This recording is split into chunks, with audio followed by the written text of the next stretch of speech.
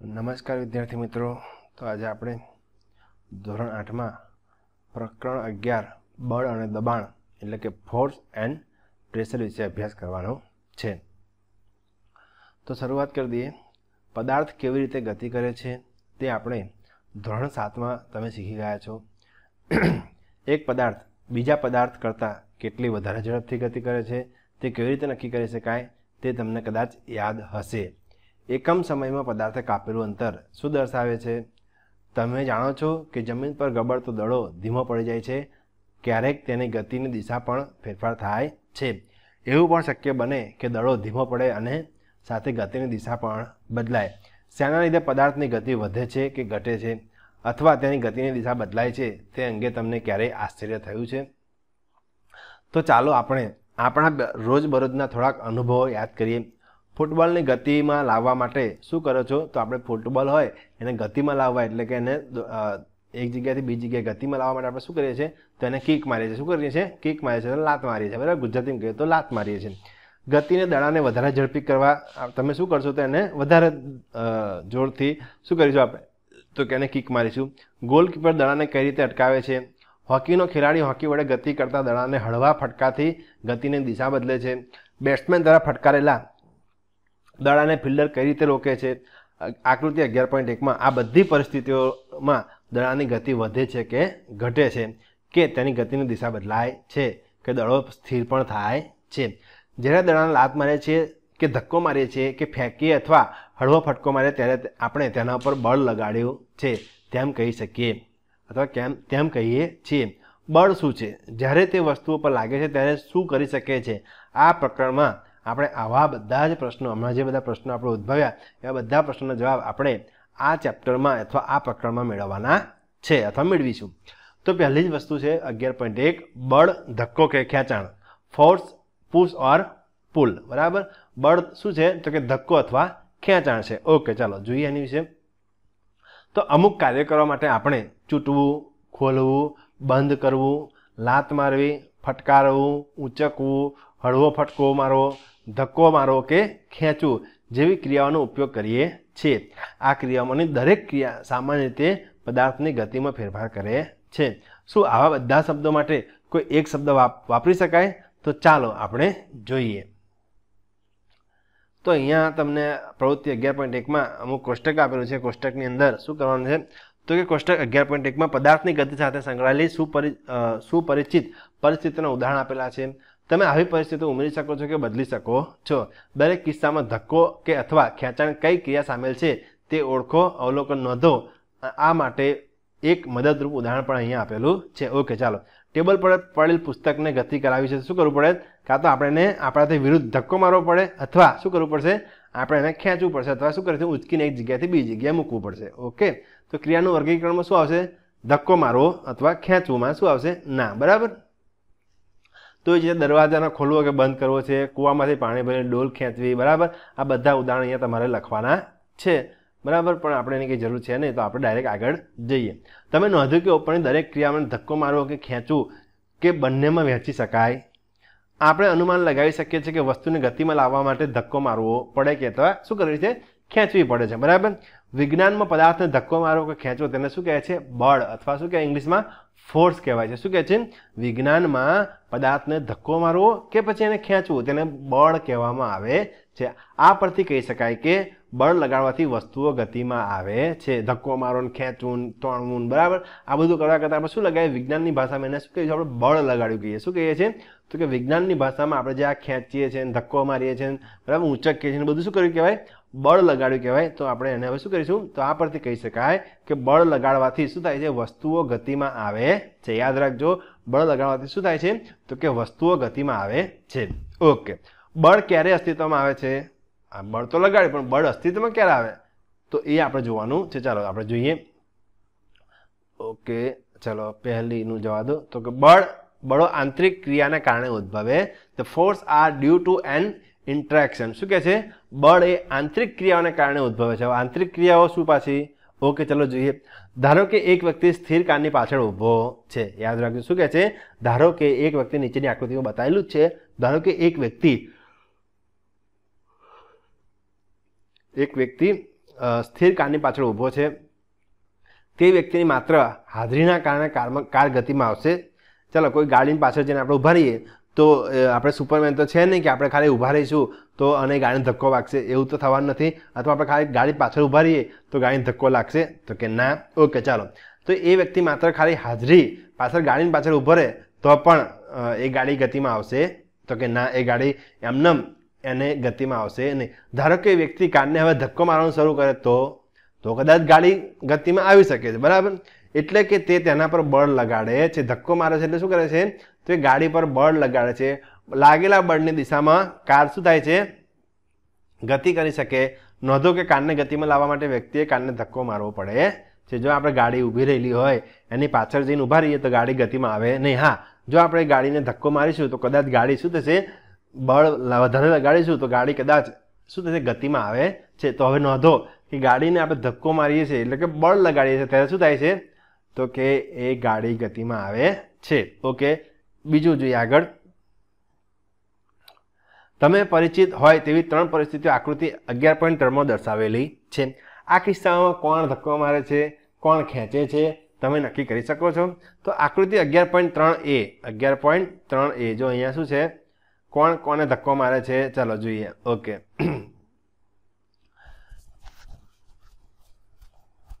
આકૃતિ અગિયાર પોઈન્ટ ત્રણ એમાં બંને છોકરીઓ એકબીજાને ધક્કો મારતી જણાય છે, દેખાય છે. જ્યારે આકૃતિ અગિયાર પોઈન્ટ ત્રણમાં બંને એકબીજાને ખેંચતી દેખાય છે, તે જ રીતે આકૃતિ અગિયાર પોઈન્ટ ત્રણ સીમાં વ્યક્તિ અને ગાય એકબીજાને શું કરે છે? ખેંચતા દેખાય છે. અહીંયા દર્શાવેલી બે પરિસ્થિતિઓ છોકરીઓ એકબીજા પર બળ લગાડે છે. શું વ્યક્તિ અને ગાય વચ્ચે આ શક્ય છે? શું આ સત્ય છે? આ ઉદાહરણ પરથી આપણે અનુમાન લગાવી શકીએ છીએ કે બળ લગાડવા માટે ઓછામાં ઓછા બે પદાર્થો વચ્ચે આંતરક્રિયા થવી જોઈએ. એવું ખબર પડી ગઈ? જ્યારે પણ બળ લગાડવું હોય ત્યારે ઓછામાં ઓછી કેટલી વસ્તુઓ હોવી જોઈએ? તો કે બે પદાર્થો ઓછામાં ઓછા હોવા જોઈએ અને એ બે પદાર્થો વચ્ચે શું થવી જોઈએ?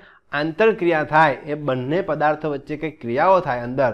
તો એને ક્રિયાઓને કારણે શું થાય છે? આપણને બળ લાગે છે. આમ, એક પદાર્થની બીજા પદાર્થ સાથે થતી આંતરક્રિયા બળમાં પરિણામે છે. આમ શું કહે છે? તો કે એક પદાર્થની બીજા પદાર્થ સાથે થતી આંતરક્રિયા એ શેમાં પરિણામે છે? તો કે બળના પરિણામ રૂપે બળના પરિણામે છે.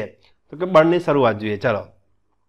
એક્સપ્લોરિંગ ફોર્સ ચાલો, આપણે બળ વિશે વધારે શીખવાનો પ્રયત્ન કરીએ તો પ્રવૃત્તિ જોઈએ અગિયાર પોઈન્ટ બે. ટેબલ કે બોક્સ જેવી ભારે વસ્તુ પસંદ કરો.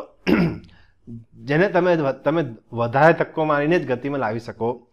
તેને તમે એકલા હાથ, એકલા ધક્કો મારવાનો પ્રયત્ન કરશો. શું તમે તમે ખસાડી શકો છો? હવે તમારા મિત્રોમાંથી કોઈ એકને તેને તે જ દિશામાં ધક્કો મારવાની મદદ કરવાનું કહો. આકૃતિ અગિયાર પોઈન્ટ ચૌદ એ. જો આકૃતિ અગિયાર પોઈન્ટ ચૌદમાં પહેલામાં છે ને, એવું રીતે, બરાબર? બંને એક જ સાઈડથી ધક્કો મારે ત્યારે. શું હવે તે સહેલાઈથી ખસે છે? તમે જો સમજાવી શકો શા માટે? ઓકે, આપણે એને સમજાવી આગળ જતા. પણ હજી બીજી આકૃતિ જોઈ લઈએ, નીચે આકૃતિ બેમાં. સામ સામે ધક્કો મારે એમાં શું થશે? હવે તે જ વસ્તુને ધક્કો મારો, પણ તમારા મિત્રને વિરુદ્ધ બાજુથી ધક્કો મારવાનો. એટલે સામેથી, આપણે સામેથી ધક્કો મારવાનો. કહો, બે બોક્સને સામ સામેથી ધક્કો મારવાનું કહેવાનું આવે છે. બરાબર? શું વસ્તુ ખસે છે? તો કે વસ્તુ હવે ખસશે નહીં. જો હા, તો કઈ દિશામાં ખસે છે? તો કે જે, જો કદાચ વસ્તુ ખસે, તો કઈ દિશામાં ખસે? જેની તરફથી ઓછું બળ લાગતું હોય ને, એ તરફ શું કરે છે? વસ્તુ ખસે છે. શું તમે અંદાજ લગાવી શકો કે તમારા બેમાંથી કોણ વધારે બળ લગાડા છે? તો કે જે દિશા વિરુદ્ધ, જે દિશામાં પદાર્થ ખસતો હોય, વસ્તુ આ બોક્સ ખસતું હોય, એની વિરુદ્ધ દિશાવાળા વ્યક્તિ વધારે શું કરે છે? બળ લગાવે છે. ઓકે? એની પરથી એવું થાય. તમે ક્યારેય દોડા ખેંચની રમત જોઈ છે? આ રમતમાં બે ટીમ દોડાને વિરુદ્ધ દિશામાં ખેંચે છે. બંને ટીમના સભ્યો દોડાને તે પોત પોતાની તરફ ખેંચવાનો પ્રયત્ન કરે છે, જો આકૃતિમાં દર્શાવ્યું છે ને એ પ્રમાણે. કેટલીક વાર દોરડું જરાય ખસતું નથી. શું તે આકૃતિ અગિયાર પોઈન્ટ ત્રણ બીમાં દર્શાવેલી પરિસ્થિતિ જેવું નથી લાગતું? જે ટીમ વધારે જોરથી ખેંચે એટલે કે વધારે બળ લગાડે, તે અંતે રમત જીતી જાય છે. શું કહે છે? અમુક વાર બંને બાજુ સરખા વ્યક્તિઓએ બંને બાજુ સરખું બળ લાગે તો દોરડું જરા પણ ખસતું નથી. પરંતુ અમુક વાર જે જે ટીમ દ્વારા વધારે બળ લગાડવામાં આવે એ ટીમ તરફ દોડું ખેંચાઈ જાય છે અને તે ટીમ શું થાય છે? એ રમત જીતી જાય છે. તો આ ઉદાહરણોના બળના પ્રકાર વિશે શું સૂચવે છે? તો કે આ ઉદાહરણો જે છે, એ બળના પ્રકાર વિશે શું સૂચવે છે? તો ચાલો જોઈએ. પદાર્થ પર એક જ દિશામાં લગાડેલ લગાડેલ બળો એકબીજામાં ઉમેરાય છે. યાદ કરે, યાદ રાખજો શું કહે છે? પદાર્થ પર એક જ દિશામાંથી લગાડેલા બળોનો શું થાય છે? એકબીજામાં ઉમેરાય, મતલબ સરવાળો થાય છે. હવે યાદ કરો પ્રવૃત્તિ અગિયાર પોઈન્ટ બે. શું કહે છે? માં, તમે તમારો મિત્ર ભારે બોક્સને એક જ દિશામાં ધક્કો મારે ત્યાં શું થાય? સહેલાઈથી બોક્સ ખસતું હતું. બરાબર? આકૃતિમાં શું થતું હતું? સહેલાઈથી બોક્સ બંને બાજુ બંને મિત્રો એક બાજુથી જ ધક્કો મારતા હતા. એટલે બોક્સ શું થતું હતું? સહેલાઈથી ખસતું હતું. જો બંને બળો પદાર્થ પર વિરુદ્ધ દિશામાં લગાડતા હોય તો શું થાત? તો આકૃતિ બી પ્રમાણે થાત. જો બંને બળો પદાર્થ પર વિરુદ્ધ દિશામાં બળ લગાડતા હોત, તો લાગતું પરિણામી બળ બંને બળના તફાવત જેટલું હોય છે. એટલે શું થાય? જે સામ સામે આપણે જો બળ લગાડવામાં આવે એકબીજાની વિરુદ્ધ દિશામાં, તો જેનું બળ વધારે હોય એમાંથી ઓછા બળ માઇનસ કરો, એ આપણને અહીંયા શું આવે છે? બંને બળના તફાવત જેટલું આપણને બળ મળે છે. જ્યારે તમે તમારા તમે અને તમારા મિત્ર ભારે બક્ષને એકબીજાની વિરુદ્ધ દિશામાં ધક્કો મારતા હતા, ત્યારે પ્રવૃત્તિ અગિયાર બેડમિન્ટનમાં તમે જોયું, બરાબર? યાદ કરો દોડાને ખેંચની રમતમાં બંને ટીમો દોડાને સમાન બળથી ખેંચે, ત્યારે દોરડું કંઈ પણ દિશામાં ખેંચાતું નથી. અને જ્યારે એક એક બાજુ વધારે બળ લગાડવામાં આવે અને એક ટીમ ઓછી હોય, બરાબર, બળ ઓછું હોય લગાડતી હોય, ત્યારે વધારે બળ બાજુ દોરડું ખેંચાય છે. આમ આપણે શીખ્યા કે એક બળ બીજા કરતાં વધારે કે ઓછું અથવા એકબીજાને સમાન પણ હોઈ શકે છે. શું કહે છે? આમ આપણે શીખી ગયા, આપણે શીખ્યા કે એક બળ એ શું કહે છે? બીજા બળ કરતાં વધારે કે ઓછું અથવા એકબીજાને સમાન પણ હોઈ શકે સામાન્ય રીતે બળની માત્રા એ એના મૂલ્ય મેગ્નિટ્યુડ. શું કહે છે?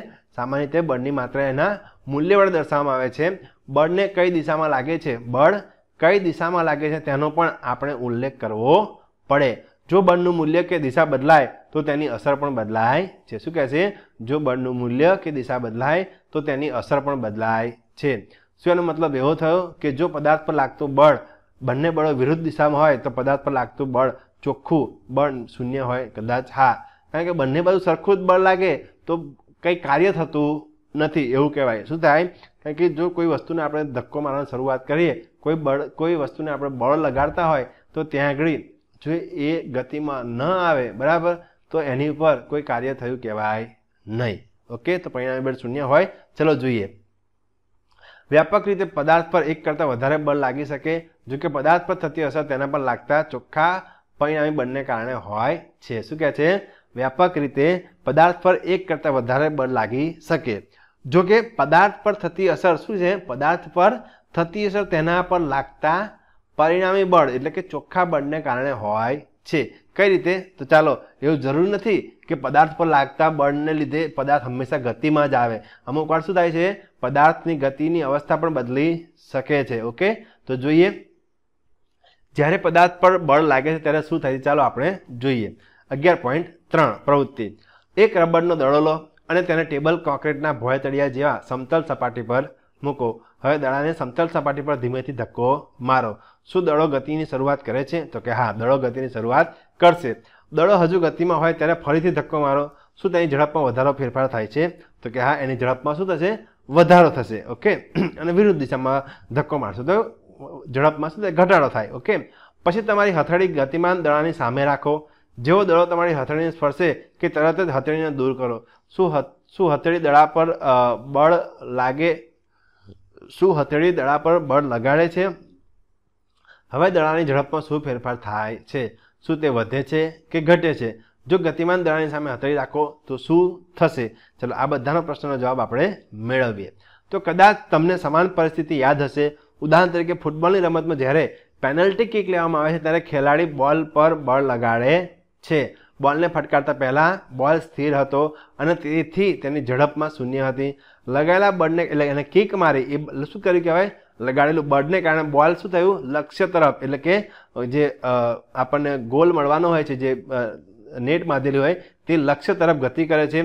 ધારો કે ગોલકીપર ગોલ બચાવવા માટે કૂદકો મારે છે. આ રીતે ગોલકીપર ગતિમાન બોલ પર શું કરે છે? બળ લગાવવાનો પ્રયત્ન કરે છે.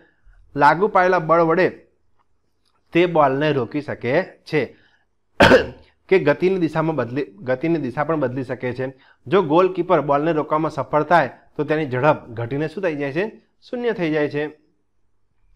આ અવલોકનો સૂચવે છે કે બળ લગાડતા પદાર્થની ઝડપમાં ફેરફાર થઈ શકે. જો પદાર્થની ગતિની દિશામાં બળ લગાડવામાં આવે, તો પદાર્થની ઝડપ શું થાય છે? વધે છે. જો બળની ગતિની વિરુદ્ધ દિશામાં લગાડવામાં આવે, તો પરિણામે પદાર્થની ઝડપમાં શું થાય છે? ઘટાડો થાય છે. યાદ રાખજો, આ અહીંયા મુખ્ય મુદ્દો છે. જો શું કહે છે? જો પદાર્થની ગતિની દિશામાં બળ લગાડો જે પદાર્થ જે દિશામાં ગતિ કરે છે, એ જ દિશામાં બળ લગાડવામાં આવે ને, તો શું થાય? તો કે પદાર્થની ઝડપ વધે છે. પણ જે દિશામાં ગતિ કરતો હોય પદાર્થ, એની વિરુદ્ધ દિશામાં જો બળ લગાડવામાં આવે, તો પદાર્થની ઝડપમાં શું થાય છે? ઘટાડો જોવા મળે છે. ચાલો એક ટાયરની રમત છે. મેં બાળકોને એકબીજા સાથે રબરના ટાયર કે કોઈ હરીણને ધક્કો મારીને ઝડપથી ચલાવવાની સ્પર્ધા કરતા જોયા છે.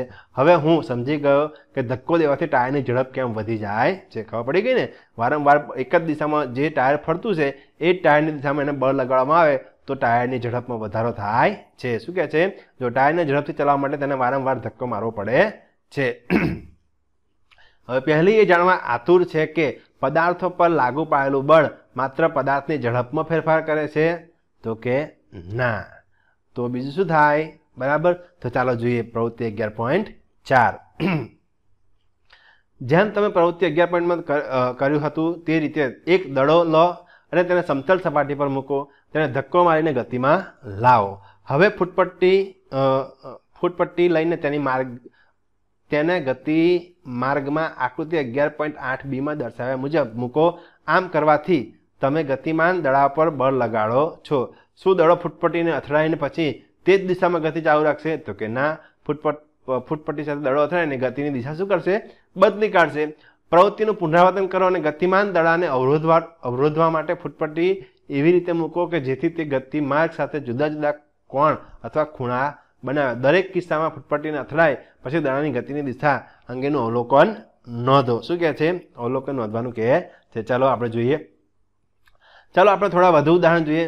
વોલીબોલની રમતમાં ખેલાડીઓ અવારનવાર ગતિમાન દળાને તેમની સાથે, સાથી ખેલાડીઓ તરફ ધક્કો મારીને મોકલતા હોય છે. ક્યારેક દળો ધક્કો મારીને કે ફટકો એટલે કે સ્મેશ મારીને કોર્ટની બીજી બાજુ મોકલવામાં આવે છે.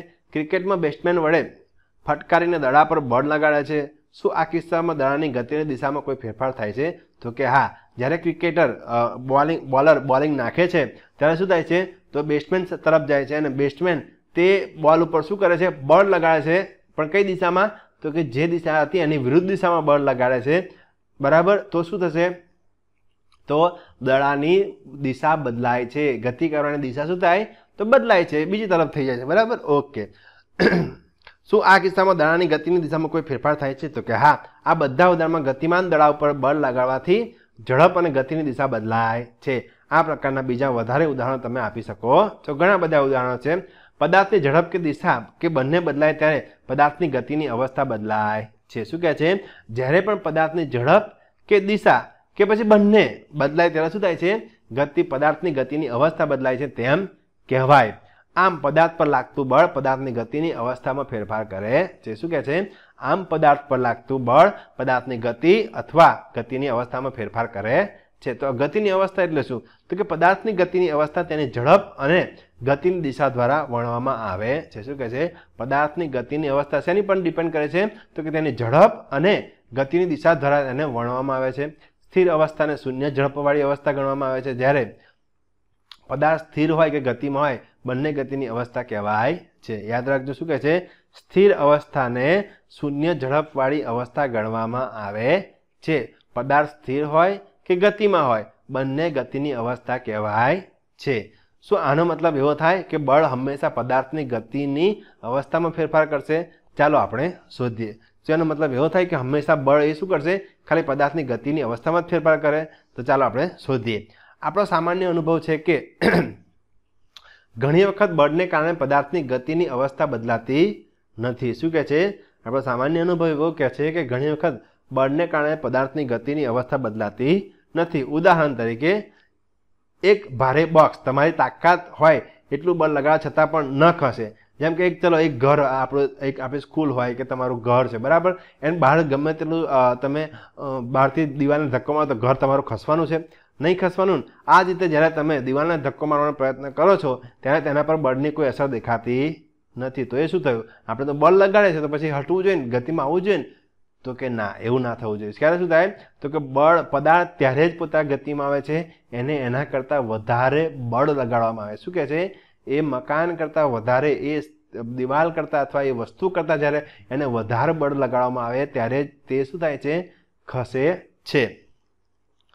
એવું નથી હોતું કે બધા બળ લગાડે ત્યારે શું થાય? પદાર્થ પોતાનો આકાર પણ બદલી શકે. ચલો, બળ પદાર્થનો આકાર પણ બદલી શકે છે. કેવી રીતે કોલમ બોલમ આપણે જોવું નથી? ડાયરેક્ટ અહીંયા જ જોઈએ. કોષ્ટક અગિયાર પોઈન્ટ બેમાં નોંધેલા અવલોકન પરથી તમે શું નક્કી કરો? તો ચલો જોઈ લઈએ શું કહે છે. પ્લેટમાં રાખેલો લોટનો કણક.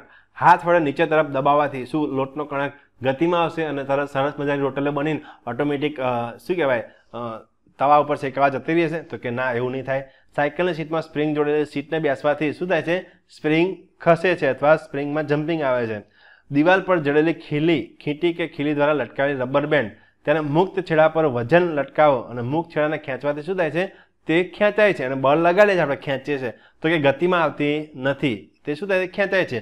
બે ઈંટો વચ્ચે મૂકેલી પ્લાસ્ટિકની ધાતુની પટ્ટી ફૂટપટ્ટીના મધ્ય ભાગ ઉપર વજન મૂકવાથી શું થાય છે? તેને બળ લગાડીએ આપણે ફૂટપટ્ટીની ઉપર. તો શું ફૂટપટ્ટી ગતિમાં આવે છે તો ના, તો શું થાય બેન્ડ થાય છે. જો અહીંયા આકૃતિમાં બતાવી છે, પણ શું થાય છે? બેન્ડ થાય છે. ચલો, આ ઉદાહરણ બધું શું કહેવા માંગે જોઈએ? તો અહીંયા એવું કહેવા માંગે છે કે કોષ્ટક અગિયાર પોઈન્ટ બેમાં નોંધેલા અવલોકન પરથી તમે શું તારણ કાઢો છો? જ્યારે તમે પોતાની હથળીઓ વચ્ચે એક ફૂલાવેલા ફુગ્ગાને રાખીને દબાવો છો, ત્યારે શું થાય છે? તે ગતિમાં આવે છે? તો કે ના. તો શું થાય છે? જ્યારે બાંધેલો તો ફુગ્ગાનો આકાર બદલાય છે. હંમેશા બળ લગાડવાથી પદાર્થ ગતિમાં નથી આવતો. અમુક વાર શું થાય છે? તો કે જો આપણે ફુગ્ગા જેવી વસ્તુ હોય અને બળ લગાડે તો શું થાય? તે દબાઈ જાય છે અને આકાર કેવો થાય છે? થોડોક બદલાય છે. તો અમુક વાર એવું થાય કે બળ લગાડે ત્યારે શું થાય છે? તો એના આકારમાં ફેરફાર થાય છે. ઓકે. પછી શું થાય છે? જ્યારે બાંધેલા અથવા ગુંદેલા લોટના પિનને વણીને રોટલી બનાવો છો, ત્યારે શું થાય છે? તો એના પણ રોજ રોટલી ઉપર તમે બળ લગાડો રોટલીના લોયા બનાવી અને એને તમે ગોળ સરસ મૂકીને પાટલી પર એને બળ લગાડો છો વેરણ અને પાટલી વડે, બરાબર? તો શું થાય છે? તો કે એ પિંડ પિંડ હોય, બરાબર? એ લોટનો જે પિંડલું હોય, એ શું થાય? ગતિમાં આવે છે, આમ ગોગર રસોડા ફરવા માંડે તો કે ના, એનું શું થાય છે? આકાર બદલાઈ જાય છે. શું થાય છે? પાતળી થઈ જાય અને મોટી થઈ જાય એવું થાય છે ને રોટલી બની જાય પછી એમાંથી. તો એ શું થાય? આકાર બદલાય છે. જ્યારે ટેબલ પર રાખેલા અથવા રબરના દડાને દબાવો છો, ત્યારે શું થાય છે? ત્યારે પણ આકાર બદલાઈ જાય. આ બધા ઉદાહરણમાં તમે જોયું કે કોઈ પદાર્થ પર બળ લગાડવાથી તેના આકારમાં ફેરફાર થઈ શકે છે. ઉપરના બધા ઉદાહરણમાં શું થાય છે? જ્યારે કોઈ પદાર્થ ઉપર આપણે બળ લગાડીએ છીએ, ત્યારે તેના આકારમાં શું થાય છે? ફેરફાર થઈ શકે છે. ઉપરની બધી પ્રવૃત્તિ કરી લીધા પછી તમે સમજી ગયા હશો કે બળ કોઈ પણ પદાર્થને સ્થિર સ્થિતિમાં ગતિ લાવી શકે છે. અમે જો બળ શું કરી શકે એ અહીંયા લખ્યું. ચલો, તમને એવું કહે કે બળ લગાડવાથી પદાર્થમાં શું પરિવર્તન આવે? તો કોઈ પણ પદાર્થને સ્થિર સ્થિતિમાંથી ગતિમાં લાવી શકે છે. જો પદાર્થ ગતિમાં હોય તો તેને ઝડપમાં ફેરફાર થઈ કરી શકે છે. શું કહે છે? જો સ્થિર ના હોય, પણ જો ઝડપમાં હોય પદાર્થની ગતિમાં હોય, પદાર્થ ગતિ કરતો હોય, તો તેની ઝડપમાં શું કરે છે? ફેરફાર લાવી શકે છે. ફેરફાર કેવો? તો કે ઝડપ વધારી પણ શકે, ઝડપની દિશા બદલી શકે અથવા ઝડપમાં ઘટાડી પણ શકે છે. ગતિમાન પદાર્થની દિશામાં ફેરફાર કરી શકે છે. બીજું શું કહે છે? તો ગતિમાન પદાર્થ હોય એની દિશા પણ બદલી શકે છે. પદાર્થના આકારમાં ફેરફાર કરી શકે. બીજું આગળ શું નવાયો? ગતિ સિવાય. તો કે પદાર્થના આકારમાં ફેરફાર કરી શકે છે. આ બધામાંથી થોડી અથવા બીજી અસરો ઉત્પન્ન કરી શકે છે. આ બધામાંથી થોડી અથવા બધી જ અસરો પદાર્થ ઉપર લાગી શકે છે. એ યાદ રાખવું આવશ્યક છે કે, એ યાદ રાખવું આવશ્યક છે કે બળ આ બધામાંથી એક અથવા વધારે અસર ઉત્પન્ન કરે છે. એટલે અમુક વાર કોઈનો આકાર બદલાય, ગમે તે થઈ શકે. ઉપરના પાંચ મુદ્દા જોયા, એમાંથી ગમે તે વસ્તુ પદાર્થ ઉપર થઈ શકે છે અથવા બળ આ વસ્તુ કરી શકે છે. તથા આ બધામાંથી કોઈ પણ અસર બળ વગર ઉત્પન્ન થઈ શકતી નથી. શું કહે છે? આ જે બધી અસર હતી, કોઈ પણ અસર હતી, બળ વગર એ ઉત્પન્ન થઈ શકતી નથી. આમ બળ લગાડ્યા વગર કોઈ પદાર્થ આપમેળે ગતિમાં આવી શકતો નથી. શું કહે છે?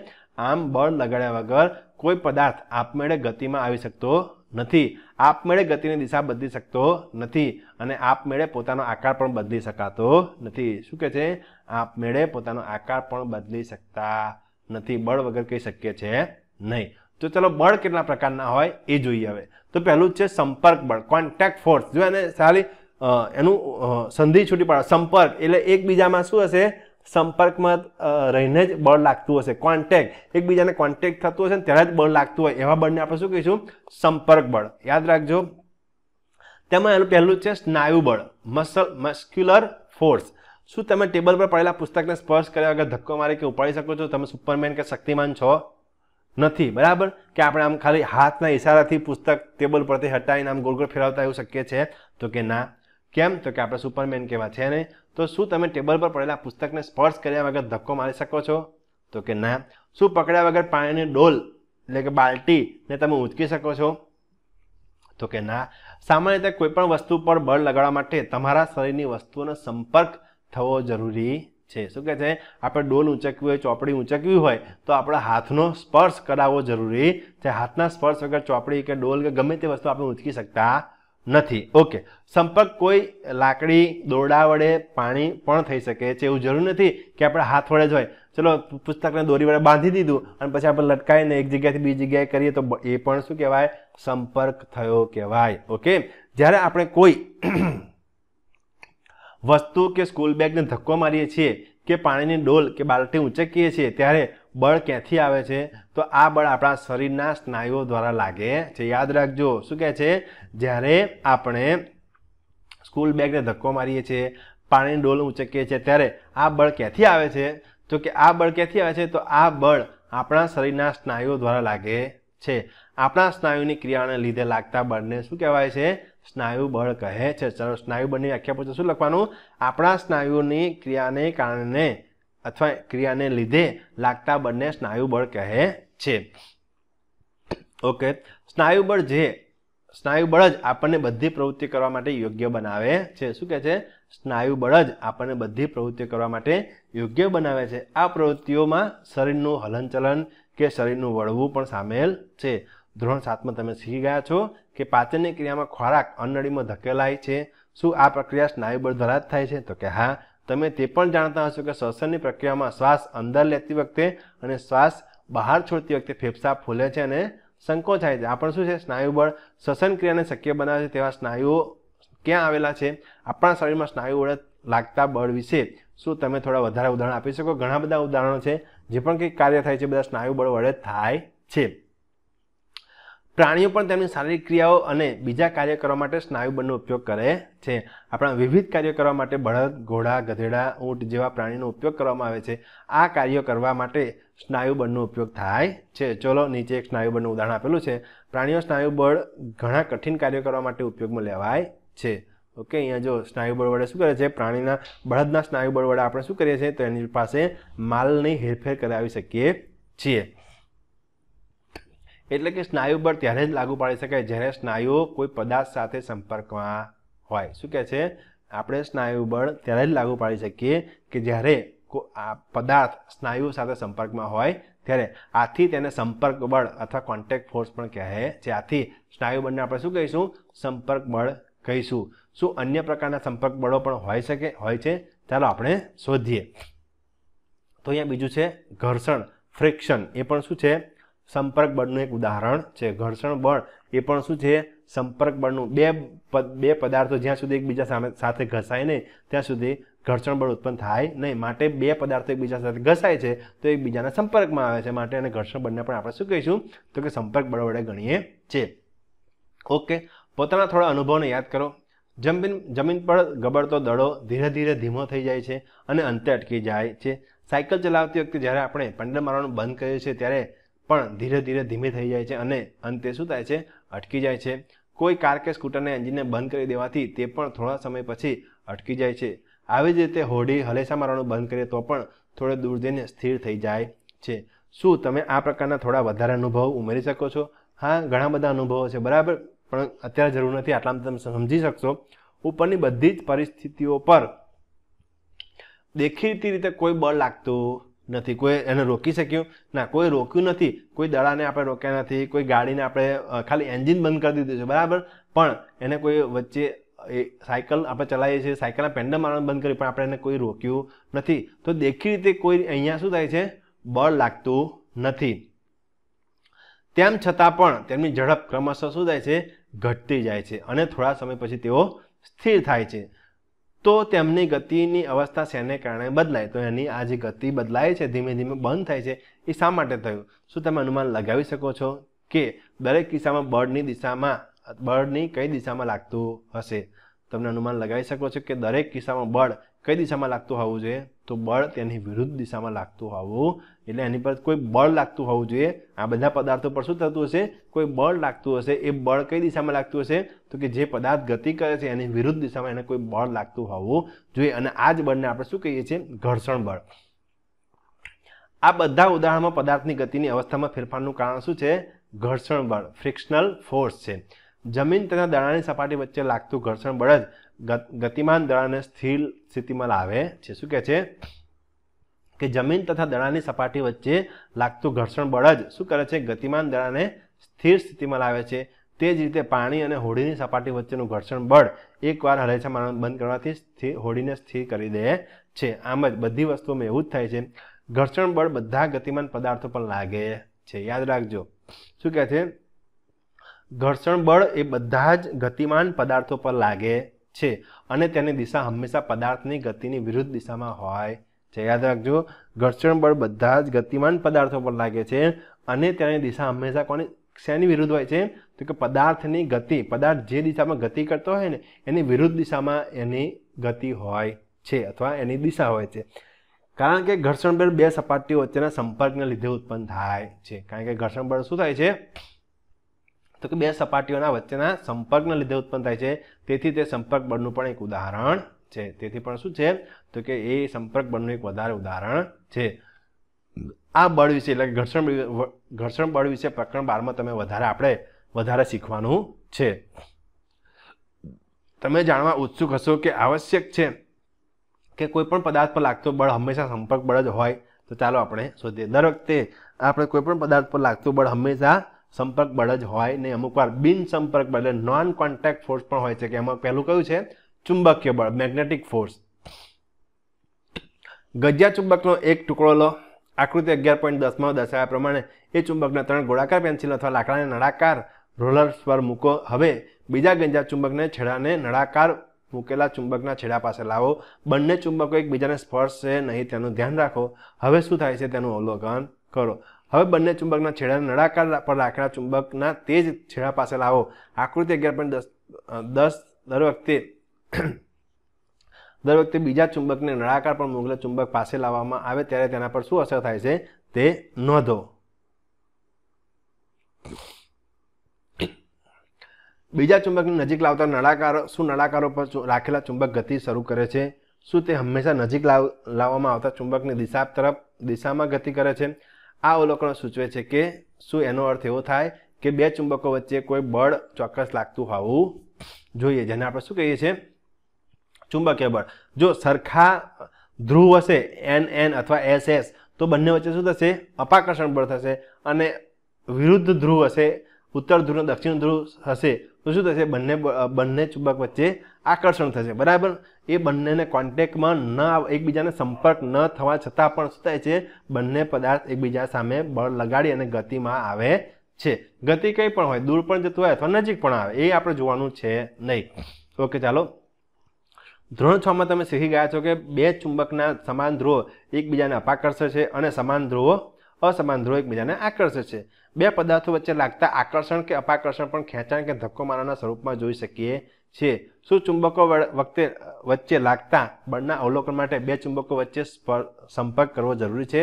એક બીજા ચુંબક પર સંપર્કમાં આવ્યા વગર પણ બળ લગાડી શકે છે. ચુંબક દ્વારા લાગતું બળ એ અસંપર્ક બળનું ઉદાહરણ છે. ખબર પડી ગઈ? તો ચુંબક દ્વારા લાગતું બળ એ શું છે? બિન સંપર્ક અથવા અસંપર્ક બળનું ઉદાહરણ છે. એ જ રીતે ચુંબક દ્વારા કોઈ લોખંડના ટુકડા પર લગાડવામાં આવતું બળ પણ અસંપર્ક બળ અથવા બિનસંપર્ક બળ કહેવામાં આવે છે. બીજું અસંપર્ક બળનું ઉદાહરણ જોઈએ તો કે સ્થિત વિદ્યુત બળ, ઇલેક્ટ્રોસ્ટેટિક ફોર્સ. ચલો જોઈ લઈએ શું છે. એ એક ચુંબક જેવું જ છે, પણ સ્થિત વિદ્યુત બળથી છે. કઈ રીતે? એ પણ જોઈએ. પ્લાસ્ટિકની એક સ્ટ્રો લો, તેને લગભગ બે સરખા ટુકડા કરો. એક દોરીની મદદથી એક ટુકડાને કોઈ ટેબલની ધાર પરથી લટકાવો. અહીંયા આકૃતિમાં બતાવ્યું છે, એ પ્રમાણે. જો અહીંયા બતાવ્યું છે ને એ પ્રમાણે. ઓકે. હવે સ્ટ્રોના બીજા ટુકડાને પોતાના હાથમાં પકડો અને તેને મુક્ત છેડાને કાગળના ટુકડા સાથે ઘસો. સ્ટ્રોના ઘસેલા છેડાને લટકાવેલા સ્ટ્રો પાસે લાવો. બે ટુકડા એકબીજાને સ્પર્શે નહીં, તેનું ધ્યાન રાખો. તેમને શું જોવા મળ્યું? તો હવે લટકાવેલા સ્ટ્રોના મુક્ત છેડાને કાગળના ટુકડા સાથે ઘસો. ફરીથી અગાઉ કાગળ સાથે ઘસેલા સ્ટ્રોના ટુકડાને લટકાવેલા સ્ટ્રોના મુક્ત છેડા પાસે લાવો. હવે તમે શું જુઓ છો? ચલો જોઈએ, શું જોઈએ છે આપણે? તો સ્ટ્રોને કાગળના ટુકડા સાથે ઘસવાથી સ્ટ્રોમાં શું આવશે? સ્થિત વિદ્યુત ભાર, સ્થિત વિદ્યુત ભાર પ્રાપ્ત કરે છે તેમ કહેવાય. આવી સ્ટ્રો એ વિદ્યુત ભારિત પદાર્થનું ઉદાહરણ કહેવાય છે. એક વિદ્યુત ભારિત પદાર્થ બીજા અને વડે બીજા વિદ્યુત ભારિત પદાર્થ કે વિદ્યુત ભાર રહિત પદાર્થ પર લાગતા બંને સ્થિત વિદ્યુત બળ કહે. તો ચલો સ્થિત વિદ્યુત બળનું વ્યાખ્યા લખીએ. શું લખવાનું? તો એક વિદ્યુત ભારિત પદાર્થ વડે બીજા વિદ્યુત ભારિત કે વિદ્યુત ભાર રહિત પદાર્થ પર લાગતા બળને શું કહેવામાં છે? સ્થિત વિદ્યુત બળ કહે છે. બે પદાર્થોના સંપર્કમાં ન હોય ત્યારે પણ આ બળ અસ્તિત્વમાં આવે છે. તેથી સ્થિત વિદ્યુત બળ એ અસંપર્ક બળ અથવા બિનસંપર્ક બળનું અન્ય ઉદાહરણ છે. તમે પ્રકરણ પંદરમાં વિદ્યુત ભાર વિશે વધુ શીખવાનું છે. છેલ્લું છે, ગુરુત્વાકર્ષણ બળ ગ્રેવિટેશનલ ફોર્સ તમે જાણો છો કે કોઈ પણ સિક્કો કે પેન તમારા હાથમાંથી છટકી જાય, તો એ તરત ક્યાં જાય છે? તો આકાશ તરફ જાય છે. થાય છે એવું? આકાશ તરફ કોઈ દિવસ જતી રહે? આપણા હાથમાંથી પેન કે ચોક કે કંઈ પણ નીચે પડી જાય, તો શું થાય? આકાશ તરફ જતો રહે છે? તો કે ના, એ તો સીધું જમીન તરફ જાય છે. ઓકે વૃક્ષથી અલગ થયા પછી પાંદડાઓ અને ફળ પણ શું થાય છે? જમીન તરફ જ પડે છે. શું તમે ક્યારેય આશ્ચર્ય થયું કે આવું શા માટે થયું હતું? જ્યારે સિક્કો તમારા હાથમાં પકડેલો હોય છે, ત્યારે તે સ્થિર અવસ્થામાં હોય છે. જેવો તેને છોડવામાં આવે છે કે તે નીચેની તરફ ગતિ ગતિ કરવાની શરૂઆત કરે છે, તે પરથી સ્પષ્ટ છે કે સિક્કાની ગતિની અવસ્થામાં ફેરફાર થાય છે. શું તેના પર બળ લાગાડ્યા વગર આવું શક્ય છે? તો કે ના, આવું બળ લાગાડ્યા વગર કોઈ દિવસ કોઈ પદાર્થ ગતિમાં આવે નહીં, એવું તો આપણે આગળ શીખી ગયા છે. તો આવું કેમ થયું? આપણે પદાર્થને કોઈ બળ નથી આપ્યું, તેમ છતાં સિક્કો નીચે કઈ તરફ ગયો? તો એની પર કોઈક બળ લાગ્યું છે. તો ચલો, એ કયું બળ છે? તો કે ગુરુત્વાકર્ષણ બળ. પદાર્થ કે વસ્તુઓ વસ્તુઓ પૃથ્વી તરફ પડે, તરફ એટલે પડે છે, કારણ કે પૃથ્વી તેમને પોતાની તરફ ખેંચે છે. આ બંને ગુરુત્વ બળ ફોર્સ ઓફ ગ્રેવિટી અથવા ગુરુત્વાકર્ષણ બળ ગ્રેવિટી ફોર્સનલ ગ્રેવિટી ગ્રેવિટેશનલ ફોર્સ અથવા માત્ર ગુરુત્વ ગ્રેવિટી કહે છે. ગુરુત્વ બળ બધા જ પદાર્થો પર લાગે છે. ગુરુત્વ બળ આપણા બધા પર દરેક સમયે આપણે જાણકારી વગર લાગતું રહેતું હોય છે. જ્યારે આપણે કોઈ નળ ખોલીએ છીએ, ત્યારે પાણી જમીન તરફ વહેવા લાગે છે. પરંતુ એવું થાય કે આકાશ તરફ વહે તો કે ના, એવું નહીં થતું. પાણી પણ એની પર પણ ગુરુત્વાકર્ષણ બળ લાગે છે. ગુરુત્વ બળને કારણે જ નદીઓમાં પાણી નીચે તરફ વહે છે. ગુરુત્વાકર્ષણને કારણે જ નદીઓના પાણી શું થાય છે? નીચે તરફ વહે છે.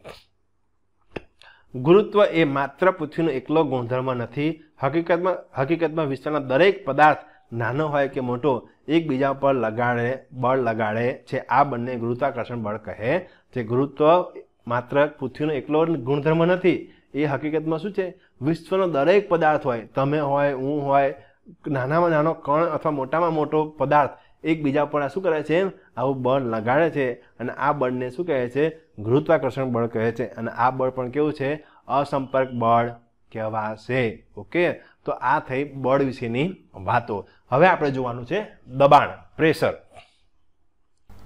તો ચાલો હવે આપણે દબાણ વિશે વાત કરીએ. તો તમે ધોરણ સાતમાં શીખી ગયા છો કે વંટોળ કે ચક્રવાત વખતે તોફાની પવન ઘરની છતને પણ ઉડાવી લઈ જાય છે. તમે એ પણ શીખ્યા છો કે વંટોળ અને ચક્રવાત એ હવાના દબાણના તફાવતને લીધે ઉત્પન્ન થાય છે. શું? દબાણ અને બળ વચ્ચે કોઈ સંબંધ છે? તો ચાલો આપણે એને શોધીએ. તો કોઈ લાકડાના પાટિયામાં ખીલીને તેના શીર્ષથી ઠોકવાનો પ્રયત્ન કરો, શું તમે સફળ થાવ છો? હવે ખીલીના તેના અણીદાર છેડા પાસેથી ઠોકવાનો પ્રયત્ન કરો, શું તમે આ વખતે તેને ઠોકી શકો છો? શું કહે છે? તો એક ખીલીના માથાવાળો ભાગ છે, એ પાટિયા તરફ રાખવાનો અને ખીલીના અણી તરફ આપણે શું કરવાનું છે? હથોડી વડે ફટકારવાનો છે. તો એ માથાવાળો ભાગ જે છે, એ પાટિયાની અંદર જશે, તો કે ના, એ જલ્દી જશે નહીં. પણ તે જ રીતે જો ખીલીના અણીવાળો ભાગ છે, એ પાટિયા તરફ રાખીએ અને માથાવાળા ભાગ તરફથી આપણે જો ખીલીને ઠોકીશું, તો સરળતાથી ખીલી પાટિયાની અંદર જતી રહે છે. શાકભાજીને કોઈ બુઠ્ઠી છરી વડે કાપો અને પછી, તે પછી ધારદાર છરી વડે કાપો. સરળ કયું પડે છે? તો કે ધારદાર છરીવાળું હોય. એનાથી શું કહેવાય? શાકભાજી કાપવું વધારે સરળ બને છે. તો શું તમને એવું લાગે છે કે ક્ષેત્રફળ ક્ષેત્રફળ પર બળ લગાડવામાં આવે છે. ઉદાહરણ તરીકે, ખીલીના અણીદાર છેડા છેડાથી તે ક્ષેત્રફળના ક્ષેત્રફળ આ કાર્યને સહેલું બનાવવામાં એક અગત્યની ભૂમિકા ભજવે છે. એનું જેટલું ક્ષેત્રફળ ઓછું હશે, એટલું વધારે બળ લાગે છે. એનો મતલબ એવો થયો. તો એકમ ક્ષેત્રફળ દીઠ લાગતા બળને દબાણ કહે છે. શું કહે છે? દબાણ કોને કહેવાય? પહેલાં દબાણની વ્યાખ્યા લખી લો. તો શું કહે છે? એકમ ક્ષેત્રફળ દીઠ લાગતા બળને શું કહે છે? દબાણ કહે છે. દબાણ બરાબર શું થશે? તો કે બળ ભાગ્યા જે સપાટી અથવા પૃષ્ઠ પર લાગતું હોય તેનું ક્ષેત્રફળ એ F upon P is equal to F upon A અહીં માત્ર એ જ બળોનો વિચાર કરીએ છીએ જે આ પૃષ્ઠ એટલે કે સપાટીને લંબ હોય, જેના પર લાગતું દબાણ આપણે શોધવું છે. હવે મને સમજાયું કે કુલીઓનો જ્યારે પણ ભારે બોજ ઉપાડવાનો હોય છે, ત્યારે તેઓ પોતાના માથા પર એક કાપ, કાપડાને ગોળ વીંટાળીને કેમ રાખે છે? આમ કરીએ તો તેને શું થશે? તેઓ પોતાના માથા સાથે બોજનો સંપર્કનું ક્ષેત્રફળ વધારી દે છે. આથી તેમના માથા પર લાગતું દબાણ ઘટી જાય છે અને તેમને શું છે, બોજ સરળતાથી ઉઠાવી શકે છે. કદાચ કારણ પૂછાઈ શકે કે ભાઈ શા માટે કુલીઓ ભારે બોજ ઉપાડવા વખતે માથામાં ગોળ કપડું વીંટાળે છે? તો તમે એનો જવાબ લખી શકો છો. કારણ કે તેઓ પોતાના માથા સાથે બોજના સંપર્કના ક્ષેત્રફળને વધારી દે છે અને આથી તેમના માથા પર લાગતું દબાણ ઘટી જાય છે અને તેઓ તે બોજને સરળતાથી ઉઠવી, ઉઠાવી શકે છે. જો અહીંયા આકૃતિમાં આપેલું છે, બરાબર? બોજ કઈ રીતે ઉપાડે છે? ઓકે. નોંધો કે ઉપરના સૂત્રમાં ક્ષેત્રફળ ક્ષેત્રફળ છેદમાં છે. તેથી જો બળ સમાન હોય તો પૃષ્ઠનું ક્ષેત્રફળ જેટલું હોય તે, તેના પર લાગતું દબાણ એટલું જ વધારે હશે.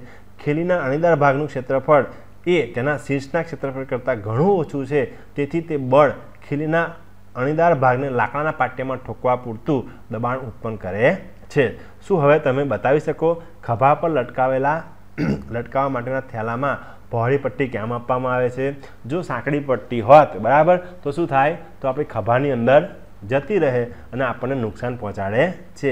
એટલે બળ વેચાઈ જાય. જે બળ લાગે છે એ વેચાઈ જાય. એટલા માટે એ બેગના પટ્ટા કેવા રાખવામાં આવે છે? પહોળા રાખવામાં આવે છે. આ થેલામાં પાતળી કેમ પટ્ટી લગાવવામાં આવતી નથી અને કાપવા કાપવા તથા કાણા પડવા માટેના ઓજારમાં ધાર હંમેશા તીક્ષ્ણ કેમ હોય છે? તો ખબર પડી ગઈ કેમ તીક્ષ્ણ ધાર હોય છે, કેમ પટ્ટા પહોળા હોય છે. તો એને શું કહેવાય? બળ ઓછું કરવા માટે અથવા બળ વધારવા માટે ધાર તીક્ષ્ણ અથવા ધાર મોટી રાખવામાં આવે છે. શું પ્રવાહીઓ અને વાયુઓ દ્વારા પણ દબાણ લાગે છે? શું એ જે ક્ષેત્ર પર બળ લગાડતું હોય તેના પર આધાર રાખે છે? ચાલો આપણે તેને શોધીએ. તો પ્રવાહીઓ તથા વાયુ દ્વારા લગાડવામાં આવતું દબાણ. The pressure extend by liquids and gaseous. તો પ્રવૃત્તિ અગિયાર પોઈન્ટ આઠ જોઈએ. પારદર્શક કાચની એક નળી અથવા પ્લાસ્ટિકની પાઇપ લો, પાઇપ નળીની લંબાઈ લગભગ પંદર સેન્ટીમીટર થાય તથા તેનો વ્યાસ લગભગ પાંચથી સાત પોઈન્ટ પાંચ સેમી હોવો જોઈએ. એક સારી ગુણવત્તાવાળા પાતળા રબરના ટુકડો પણ લો, તેમાં રબરના ફુગ્ગા, ફુગ્ગો પણ લઈ શકો છો. પાઇપના છેડા પર રબરની સીટને ખેંચીને બાંધી દો. પાઇપને ઉર્ધ્વ ઉર્ધ્વ સ્થિતિમાં રાખી તેને મધ્ય ભાગમાં પકડો. આકૃતિ અગિયાર પોઈન્ટ ચૌદમાં દર્શાવ્યા મુજબ. ચલો, અગિયાર પોઈન્ટ ચૌદ અહીંયા દેખાય છે ને તમને? ઓકે, એ મુજબ શું કરવાનું છે? આપણે પાણીને, પાઇપને પકડવાનું છે. ઓકે. આકૃતિમાં દર્શાવ્યા મુજબ તમારા કોઈ મિત્રને પાઇપમાં પાણી રેડવાનું કહો. શું રબરનું પડ બહારની બાજુ ઉપસે છે? પાઇપમાં પાણીની સ્તંભની ઊંચાઈ પરનું અવલોકન કરો. પાઇપમાં થોડું વધારે પાણી રેડો. રબરના પડના ઉપસેલા ભાગનું પણ, ભાગનું તથા પાઇપના પાણીના સ્તંભની ઊંચાઈનું ફરીથી અવલોકન કરો. તો શું જેમ જેમ પાણી રેડીશું એમ શું થાય? પાણીની ઊંચાઈ પણ વધશે અને નીચે જે રબરનું છે, બરાબર? રબર બાંધેલું છે, એ પણ શું થશે? ધીમે ધીમે મોટું થાય છે. રબરના પડના ઉપસેલા ભાગનું પાઇપમાં પાણીના સ્તંભની ઊંચાઈનું ફરીથી અવલોકન કરો. આ પ્રક્રિયાનો થોડી વધારે વખત પુનરાવર્તન કરશો, તો તમે રબરના પડના ઉપસેલા ભાગ અને પાઇપમાં પાણીની ઊંચાઈના સ્તંભ વિશે કોઈ સંબંધ જોઈ શકો છો. એ સંબંધ શું છે? એની આપણે માહિતી લઈએ. પ્રવૃત્તિ અગિયાર પોઈન્ટ નવ. પ્લાસ્ટિકની એક બોટલ લો. તમે પાણીની પાણી કે સોફ્ટ ડ્રિંકની વાપરેલી કોઈ બોટલ લઈ શકો છો આકૃતિ અગિયાર પોઈન્ટ પંદરમાં દર્શાવ્યા પ્રમાણે બોટલના તળિયા પાસેથી પાસે થોડા સમય લાંબી એક નળાકાર ટ્યુબ બેસાડો. એવું કરવા માટે કાચની ટ્યુબ એક છેડા, છેડાને ગરમ કરો અને પછી તરત જ બોટલના તળિયે પાસે તેને દાખલ કરો. તે ઘૂસાડી દો. જોડાણ એટલે સાંધા પાસે પાણી લીક ન થાય તેનું ધ્યાન રાખો. જો પાણી લીક થતું હોય તો તેને પીગળાયેલા મીણથી સીલ કરો. કાચની નળીના પ્રવૃત્તિ કાચની નળીના મોઢાના પ્રવૃત્તિ અગિયાર પોઈન્ટ આઠ અનુસાર એક પાતળી રબરની સીટ વડે બંધ કરો. હવે બોટલને પાણીથી અડધી ભરો. તમે શું અવલોકન કરો છો? અથવા તમે શું જુઓ છો? આ સમયે કાચની નળીના મોઢા પર લાગેલી રબરની સીટ કેમ ફૂલી જાય છે?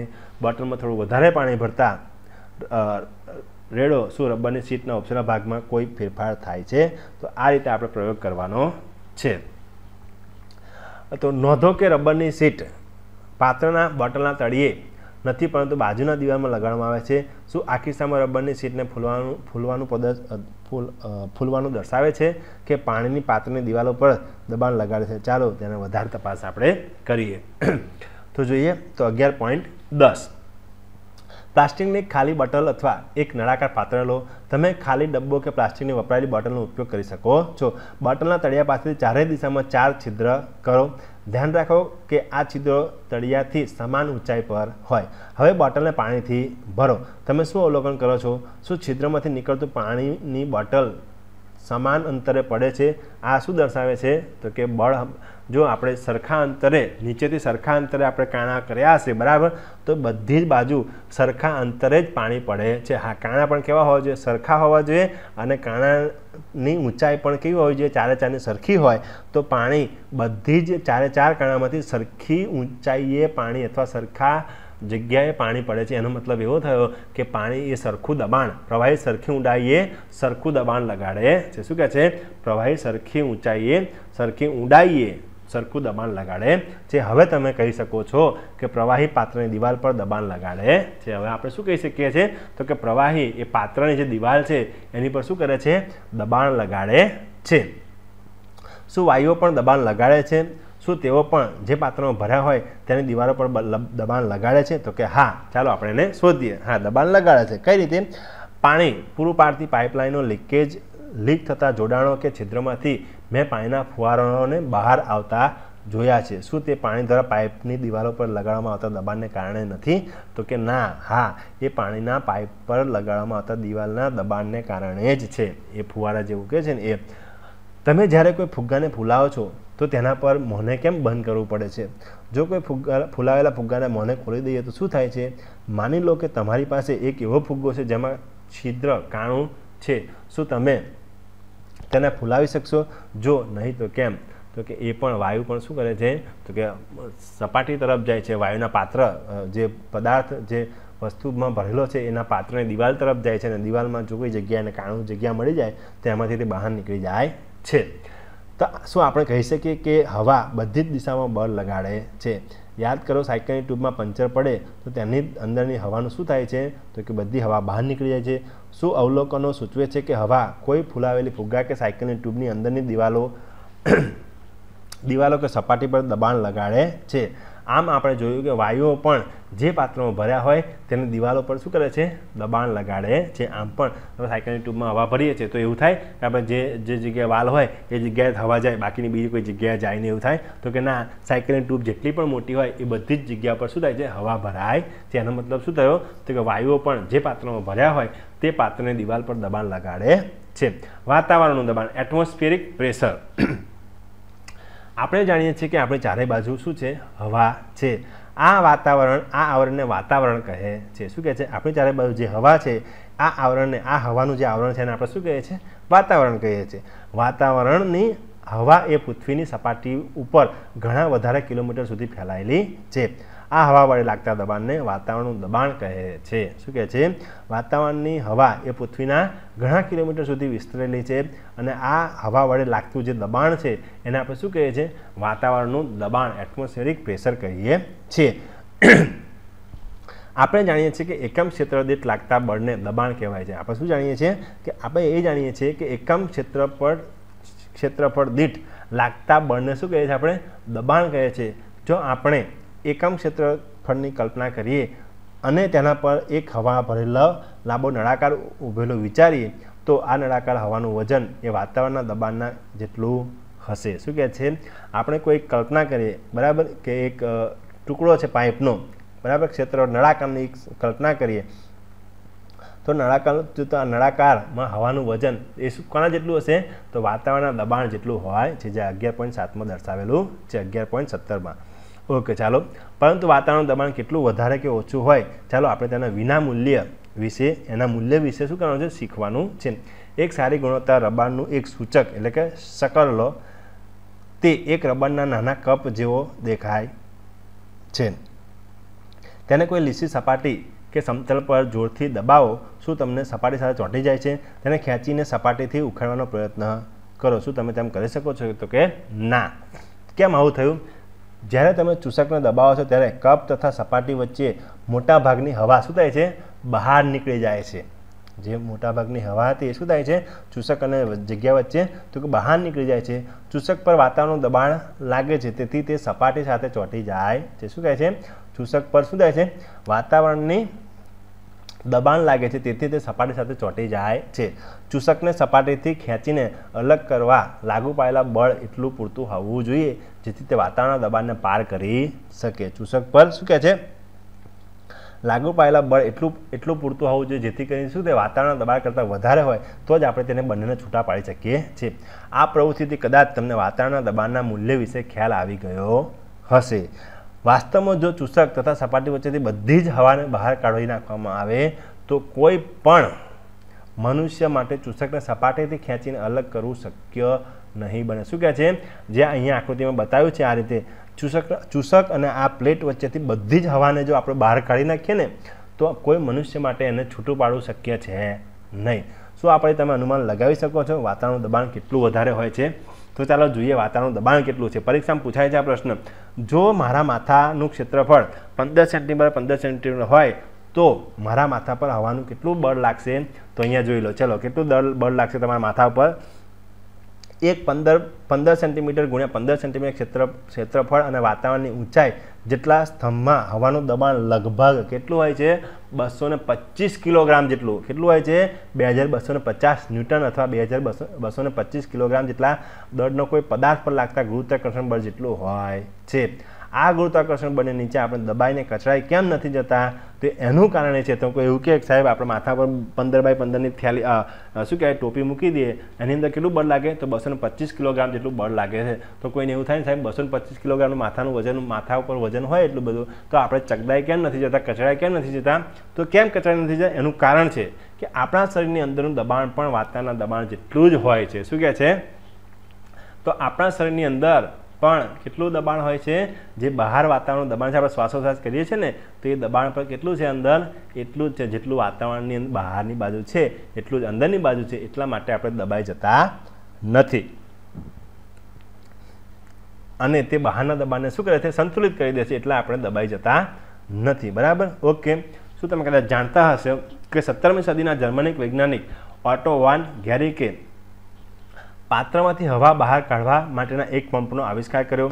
આ પંપની મદદથી તેણે હવાના દબાણને લીધે લાગતા બળનું નાટકીય રીતે નિર્દેશન કર્યું. તેણે ધાતુના બે પોલા અર્ધગોળ અર્ધગોળાઓ લીધા, જેમાં દરેકનો વ્યાસ એકાવન સેન્ટીમીટર હતો. આ અર્ધગોળાઓને એક સાથે જોડીને તેમની વચ્ચે હવા કાઢી લેવામાં આવી. પછી તેણે બંને અર્ધગોળાઓને એકબીજાની વિરુદ્ધ દિશામાં ખેંચીને અલગ અલગ કરવા માટે આઠ આઠ ઘોડાનો ઉપયોગ કર્યો, જે આકૃતિ અગિયાર પોઈન્ટ વીસમાં બતાવેલા છે, જે નીચે આકૃતિમાં બતાવેલા છે. હવાના દબાણને કારણે લાગતું બળ એટલું બધું મોટું હતું કે આ ઘોડાઓ પણ અર્ધ ઘોડાઓને અલગ ન કરી શક્યા. શું હતું? વાતાવરણનું બળ એટલું બધું હતું કે આ ઘોડાઓ પણ આ જે બે અર્ધ ઘોડા વાતાવરણના દબાણથી જોડાયેલા હતા, એને એ લોકો દૂર કરી શક્યા નહીં. તો અહીંયા આપણું ચેપ્ટર પૂરું થાય છે. જેનો સ્વાધ્યાય તમારા ચોપડામાં અને સ્વાધ્યાય પોથીમાં પણ તમારે લખવાનું રહેશે. જે તમને હવેના નેક્સ્ટ લેક્ચરમાં હું તમને પીડીએફ મોકલીશ, જેનું તમારે જોઈને સ્વાધ્યાય પોથીની અંદર તમારા પ્રશ્નોના જવાબ લખવાના છે. તો અસ્તુ, જય દક્ષિણામૂર્તિ.